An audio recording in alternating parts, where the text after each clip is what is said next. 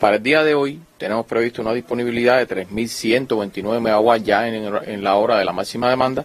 que siempre explicamos ocurre sobre las 10, 10 y 30 minutos de la noche y tenemos previsto una disponibilidad de 3.080. Si se puede, pues, como pueden apreciar, la, disponibilidad, la demanda que estamos pronosticando para el día de hoy es una demanda alta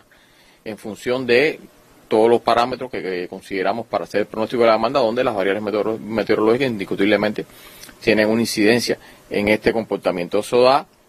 una reserva de 49 megawatts. Fíjense que la reserva es bien baja, quiere decir que debe haber alguna variación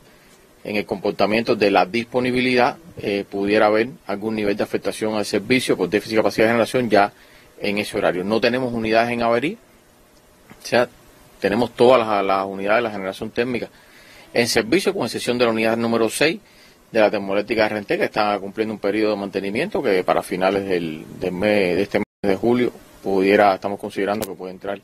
en servicio nuevamente. El resto de las unidades están en, servicio. Tenemos el resto de la generación del país, también la tenemos con un nivel de disponibilidad eh, realmente elevado y estamos muy cerca del el comportamiento, o sea, la disponibilidad de la demanda está muy cerca. Quiere decir que es imprescindible